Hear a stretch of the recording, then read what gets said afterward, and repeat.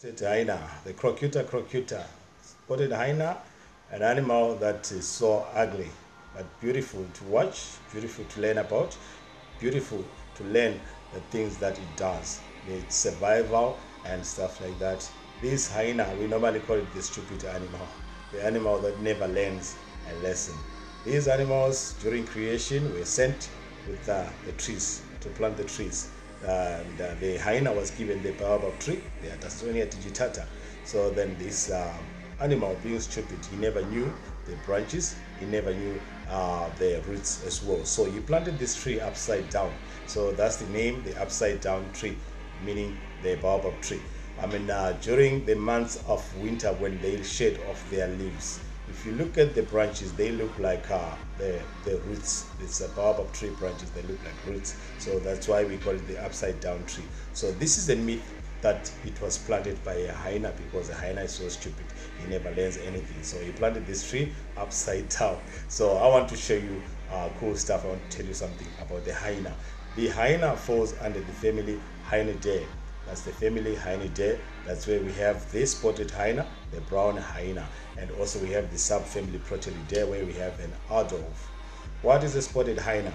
This is a medium-sized animal that weighs around uh, 70 kgs. Uh, that's uh, for our males, and the females weighs up to like 80 kgs. So females are larger than the males and uh, these animals will give birth to one to two young ones after about three months. It's plus or minus three months. And uh, they can live up to like 20 years. That's in the wild. That's the hyena. And uh, their peak season is just any time. They don't have a peak season when it comes to reproduction. They just give birth uh, to one to two young ones any times throughout the year. And uh, these animals are actually feed on the medium to large ungulates I still remember that I made a video about the ungulates. Now we know what ungulates are. So this animal actually can hunt and also scavenge at the same time.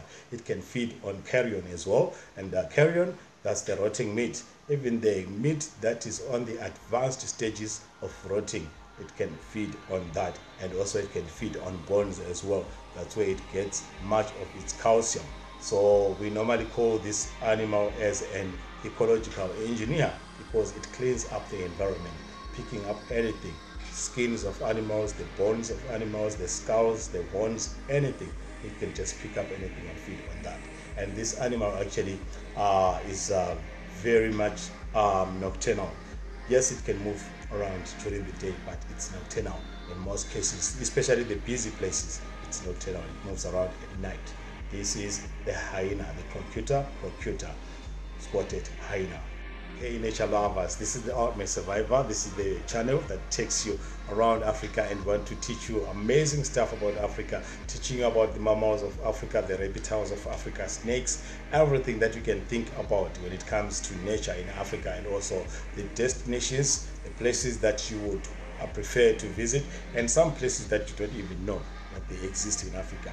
We want to actually put them under the spotlight so that you know what's taking place. Please don't forget to subscribe to our channel and activate the bell icon so that you are notified whenever we upload a new video. And also when you're watching our videos and when we're making sense, please give us a thumbs up that will help our channel to grow a lot we want to grow and we want to reach the whole world and we want to teach each and every person in this world about the things that happens in africa the good and the amazing stuff about africa so guys stick around and we are talking about the family Hyaenidae. that's where we are talking about the hyenas in africa so stick around the ultimate survivor the next hyena that we're going to talk about this is the brown hyena that's a Hyaena brunnea Hyaena brunnea this one is also a scavenger, but it actually hunts also.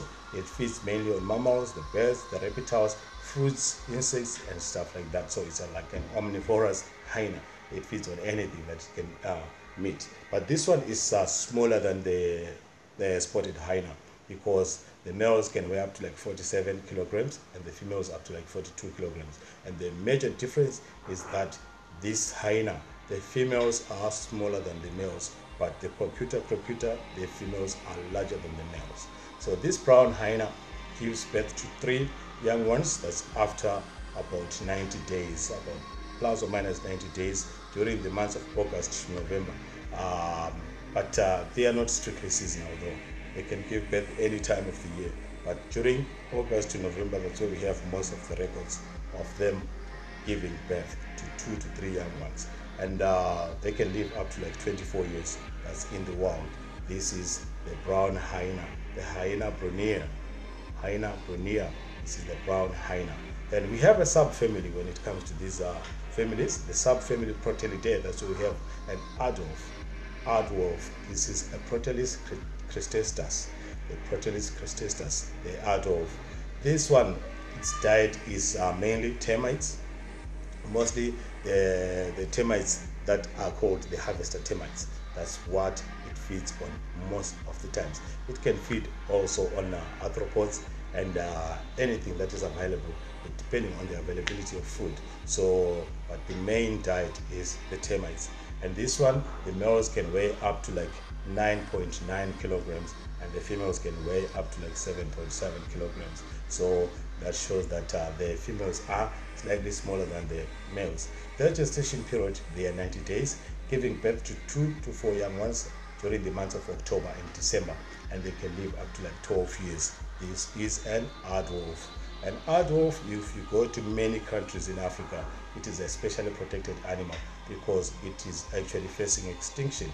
It's so scarce, you rarely see it when you're doing a tour around uh, the countries in Africa. So it is a specially protected animal in most of the countries in Africa. So these are the animals that falls under the family uh, Hyaenidae, the brown hyena, the uh, spotted hyena, as well as the aardwolf.